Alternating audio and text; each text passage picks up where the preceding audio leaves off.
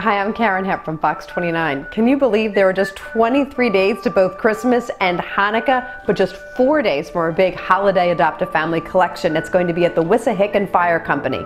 Fox 29 is a proud partner, and we'll be there, and all we need is for you to be there as well.